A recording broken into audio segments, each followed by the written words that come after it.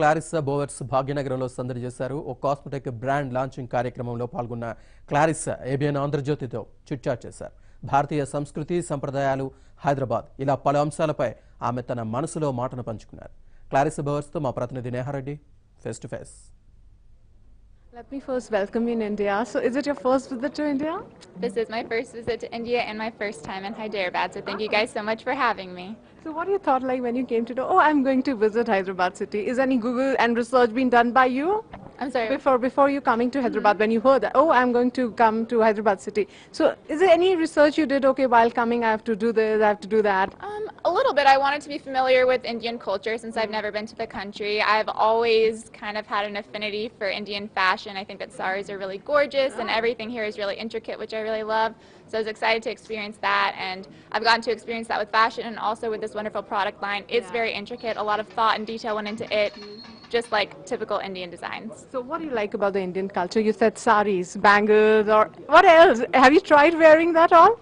I've received a lot today, Oh, so I'm starting. I'm This is- to get to try them on. Um, I mean, I'm new to it. I've never tried it on before, but so far I'm really enjoying it. Everything is so intricate. So much detail and love is put into everything here, and I really love that quality about India. What about the food? The food is also amazing. You guys like it spicy, which I'm okay with. So so far it's been really really wonderful. and how the life has changed after this? You know, what exactly the future plans for you now?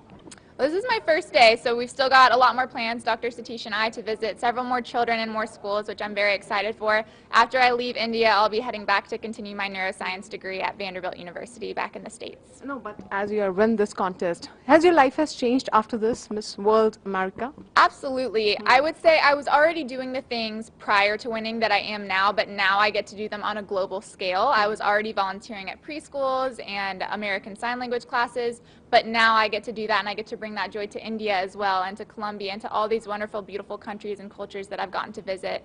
I get to now do what I love on a global scale rather than just localized. What kind of a hobby lover you are? Like what you like when you're free? I like to not be free. I like to not have free time. Um, I'm a college student and I'm a volleyball player, so both of those keep me really busy. But when I'm not doing that, my free time is spending time with kids. But mostly we think after this fashion and modeling, people go mostly for the you know Hollywood, Bollywood, and is it attracts you? Are you a movie lover? Um, I mean, I love movies, but I never intend to be in one. I'm not really about the fame. I just like the platform that it gives me to help others, and that's what I'm really doing it for.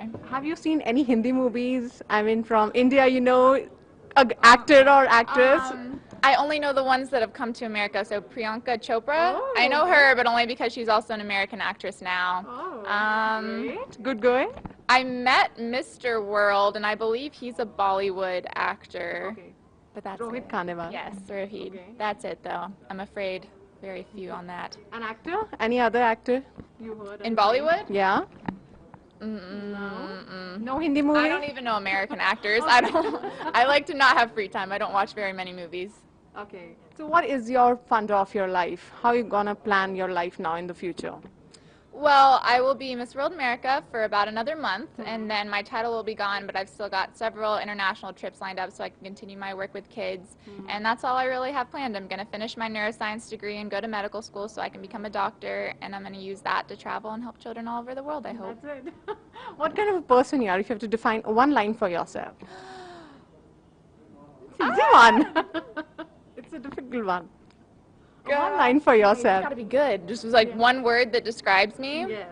Dedicated, I oh. think, because I, I dig my hands into a lot of different things, but everything that I do, I do with my whole heart, and I'm really dedicated to it, whether it's helping kids or becoming a doctor, anything that I'm passionate about, I'm dedicated to it 100%. Okay. If you built